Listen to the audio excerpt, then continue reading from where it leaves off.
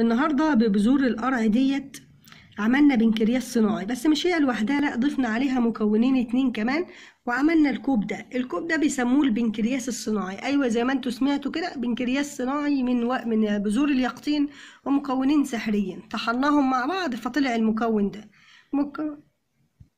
فيلا بينا بقى نشوف الفيديو ونشوف المدة اللي هناخدها فيها الوصفة والمدة قد إيه وإيه أفضل طريقة تجيب نتيجة سريعة. يلا بينا إن شاء الله النهاردة معانا بنكرياس صناعي. هنعمله مع بعض وصفة بالظبط هي بنكرياس صناعي. أيوه زي ما أنتوا سمعتوا كده. ثلاث مكونات أخطر من بعض افضل من بعض بس هتتعمل بالطريقة اللي أنا هقولها لكم. والكوب اللي هيستخدمه حتى الأطفال هيستخدموا عدد معين من الأكواب في اليوم والكبار ليهم أكواب مختلفة. إيه بقى الوصفة ديت؟ وإيه مكوناتها؟ وليه مكوناتها دي بيسموها بنكرياس صناعي؟ كل المعلومات اللي حابين تعرفوها وإزاي الوصفة بتتعمل وهتتاخد لكام يوم هتفضلي ماشية على العلاج وأنت بتاخدي الوصفة ولا لأ؟ وإزاي تجيبي نتيجة سريعة؟ تعملي حاجات هقولك عليها لو عملتيها والتزمتي بيها هتجيبي نتيجة كويسة ومضمونة وسريعة. يلا بينا بقى نشوف الوصفة وإيه التلات مكونات وإزاي نعملهم وإزاي نعملهم في الكوب ده ونشربهم.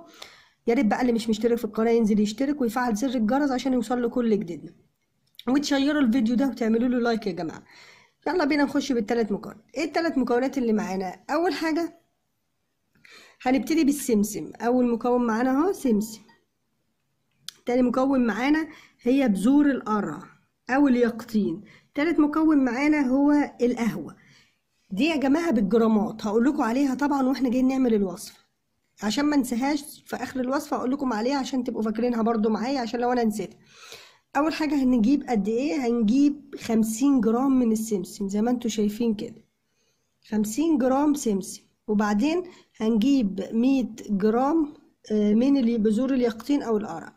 ثم هنجيب خمسة جرام من القهوة. يبقى أنتوا عرفتوا كده؟ عشان بس لو نسينا. خمسين جرام سمسم مية جرام قرع أو اليقطين وخمسة جرام بس من القهوة أو البن العربي. تعالوا بقى نشوف ليه المكونات دي بيسموهم بنكرياس صناعي وهل هم مفيدين فعلا وإزاي ناخدهم؟ تعالوا. أول حاجة هنبتدي بيها هو القرع العسل القرع أو اليقطين. ده بيسموه البنكرياس أو الإنسولين يا جماعة ده بديل الإنسولين. ليه؟ القرع ذات نفسه فيه مغنيسيوم وفيه بوتاسيوم ف... فمفيد جدا. زي ما أنتم عارفين المغنيسيوم هي مادة رئيسية ومهمة جدا للبنكرياس عشان تتحفز وتبتدي تشتغل. أما البوتاسيوم ففي اليقطين هنا مهم برضو بيظبط. على فكرة البوتاسيوم ده من أهم الحاجات برضو للسكر والإنسولين عشان يشتغلوا ومهم لضغط الدم فلذلك. اليقطين أو القرع بيخفض مستوى السكر في الدم طيب بعد كده بيعمل إيه اليقطين ده طيب آه مهم جدا جدا ومهم جدا في إنه بيحتوي على فيتامين الف وده زي ما أنتوا عارفين فيتامين الف مهم للبصر والبصر أنتوا عارفين أكتر حاجة بتتأثر بالسكري. فمهم جدا جدا برضو هنا كمعلومة إن هو فيه فيتامين الف برضه بيقلل امتصاص السكر وبيشتغل عن طريق الكبد فبالتالي بينظم حركة السكر في الدم. مش بس كده لا لقوا إن القرع دوت أو اليقطين لقوا من الحاجات المهمة قوي قوي في إن هي بتقلل الدهون الثلاثية ودي حاجة مصاحبة أصلا لمريض السكري فهو بيقللها. آه هو فوائده كتير ولا تعد ولا تحصى. حتى أنا في القناة لو قلبتوا في القناه وشفت الفيديوهات هتلاقيني كاتبة كده علاج السكر بالقرع أو اليقطين. آه كل المعلومات اللي عايزينها عن اليقطين مفيدة جدا لمريض السكري وللمضاعفات. طيب نخش على تاني حاجة معانا وهي السمسم. السمسم ده يا جماعة من الحاجات المهمة قوي قوي قوي لمريض السكري. ليه؟ السمسم ده برضو أنا عاملة عليه حلقة برضو في القناة عن اكتبي كده في البحث فوائد السمسم لمريض السكري أو السمسم للسكر. السمسم مهم جدا لمريض السكري نوع تاني خصوصا نوع تاني. ليه؟ لأنه بيتوفر فيه السمسم ده عنصر المغنيسيوم. المغنيسيوم المهم قوي إن هو بيطلع الإنسولين. لأنه أنتوا عارفين إن السكر نوع تاني مشكلته في حاجة وهي إن الإنسولين مش بيطلع كويس. فبالتالي السمسم من المواد اللي بتحفز الجسم إن هو يطلع إنسولين. تاني حاجة بيعالجها السمسم وحاجة مهمة قوي قوي بتعالج حاجة اسمها مقاومة إنسولين. بمعنى إن دلوقتي الإنسولين المفروض يدخل السكر في الجسم في, في الخلايا. فلما يجي يدخل السكر في الخلايا مش بيعرف الخلايا بتزقه كده وبتبعده عشان ما يدخلش السكر فبيسموها مقاومة إنسولين. دي بتظهر أكتر في الناس اللي وزنهم كبير أو وزنهم معدي شوية ووزنهم زايد أو إن عندهم دهون كتير وغيره. فالسمسم مهم هنا تمام؟ في أحماض السمسم فيه حمض بيزود حساسية الجسم للأنسولين بمعنى إن أقل نسبة في الجسم من الأنسولين بتقدر إنها تشغل الجسم وتدخل السكر في الدم وتظبطه. فالسمسم مفيد قوي قوي قوي لمريض السكر وخصوصا في الوصفة دي كمان. هيبقى معانا آخر عنصر معانا وهي القهوة العربي أو البن. ليه بقى مفيدة؟ القهوة أو البن فيها حمض مفيد قوي قوي اسمه الكلوروجينيك. ده حمض آه، مهم جدا عشان آه، الإنسولين واستقبال الإنسولين وتشغيل الإنسولين وتظبيط السكر في الدم. فالتلاتة مع بعض بيسموهم بنكرياس صناعي وهم فعلا بنكرياس صناعي. فبينا بقى تعالوا بينا نشوف بقى إزاي هنعمل الوصفة وازاي ناخدها وهل نستمر عليها لمدة قد إيه. ده كله بقى اللي هنبتدي نقوله دلوقتي.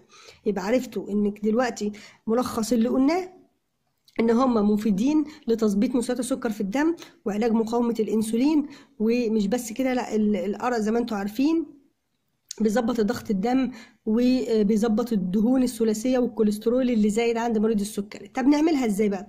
هتاخدي الثلاث مكونات دول وتضربيهم في الخلاط أو في الكبة يكون عندك كبة كده أو حاجة تضربي الثلاثه دول مع بعض. بعد ما تضربيهم هيطلع معاكي المكون ده. أنا ضربه منهم شوية أهو هيطلع معاكي المكون ده. هنعمل إيه بقى وإزاي نستخدمهم؟ يبقى هتاخدي دول تطحنيهم مع بعض كده التلاتة كده تطحنوا خالص تمام؟ عرفتي؟ طب مقاديرهم قد إيه عشان بس الناس اللي نسيت؟ هتاخدي من السمسم آه حوالي خمسين جرام ومن القرع حوالي مية جرام ومن القهوة حوالي خمسة جرام. فكده المقادير. نطحنهم بقى ونجيبهم هنا. أول ما نطحنهم تجيبي مية سخنة. تكوني مسخنة مية في كاتل مثلا. وتبدأي تضيفي عليها معلقة معلقة هي دي عشان معلقة كبيرة معلقة شاي منها. وتسيبيها لمدة قد إيه؟ هتسيبيها لمدة آه، حوالي عشر دقايق كده تبرد وبعدين تشربيها. طب هنستخدمها إزاي بقى؟ بس وهي بتبرد كده يا جماعة تحاولي تحط عليها حاجة عشان البخار بتاعها عشان هو المادة الرئيسية لأن كل المواد اللي بنستخدمها طبعا مواد متطايرة. يبقى المكونات دي لازم تتحط في كبة تطحن وهيطلع لك المكون ده معاكي وبعدين نحطهم هيطلع الكوب ده. ناخد الكوب ده إزاي بقى؟ بصوا في حاجة مهمة. إحنا هنا استخدمنا مية مغلية صح؟ في ناس بقى بيستخدموا حاجة تانية اللي هي اللبن خالي الدسم وده مفيد وده ممكن تستخدميه للأطفال خصوصا يعني. تبدلي المية السخنة اللي إحنا استخدمناها بلبن خالي الدسم تمام؟ وممكن للكبار برضه. طب الأطفال هياخدوها كم مرة في اليوم؟ الأطفال هياخدوا كوب واحد منه في اليوم واحد بس كوب زي ده. أما الناس الكبار هياخدوا كوبين في اليوم. تاخدوا كو... الناس الكبار هياخدوا كوبين. هنمشي عليهم لمدة قد إيه؟ واحد وعشرين يوم. تمام؟ طيب بعد كده في حاجة مهمة هنمشي عليها لمدة واحد وعشرين يوم. بعد كده هتلاحظي إن انت الأدوية اللي كنت بتاخديها الإنسولين بدأ كميته تقل. ليه؟ بدأ الدنيا تتظبط. طب ده كله هناخده تحت استشارة طبيب تسألي طبيبك وتقولي له أنا عملت وصفة من كذا كذا وهنشوف. بتتابع أصلا بحاجة اسمها سكر تراكمي؟ أكيد أنت عارف. طيب آه، عشان أجيب نتيجة سريعة أعمل إيه؟ قدامك ثلاث حاجات لازم تعمليهم. أول حاجة لازم تعتني بالأكل بتاعك وإنك الم- المقصود بكلمة تهتمي بالأكل بتاعك إنك تقللي السكريات وتقللي الدهون عشان إحنا أصلا في المواد اللي إحنا قلناها السمسم وغيره بتزود إيه وبتقلل مقاومة الإنسولين. فعشان يشتغلوا لازم حضرتك يكون وزنك كويس والدهون اللي في دمك كويسة قليلة يعني وما يكونش في أضرار آه، دهون ضارة في الدم.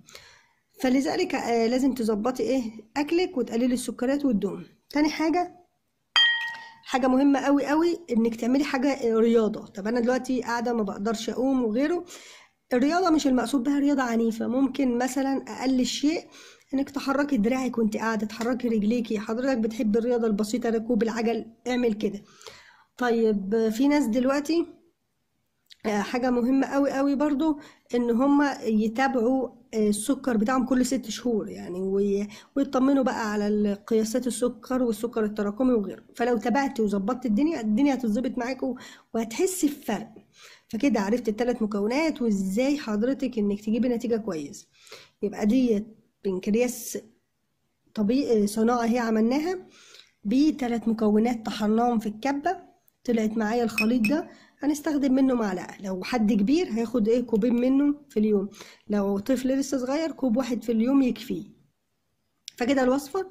ولو أي حد ليه تعليق أو سؤال أو أي حاجة يكتبها تحت. ولو حد عمل وصفة يكتب ويقول هي فادته ولا ما فادتوش وغيره. لو حصل لك أي تحسس من الحاجات دي آه، لازم توقفيها فورا. والأدوية لازم تمشي عليها. مش هنوقف أي أدوية خالص هتمشي عليها للنهاية وتمشي بمتابعة واستشارة الطبيب. كل دي المعلومات في الفيديو. والله كل المعلومات مفيدة جدا جدا فياريت تتابعيها. وقبل ما تاخدي أي حاجة ابحثي عنها على النت عشان تعرفي فوائدها. وشكرا جدا ليكي.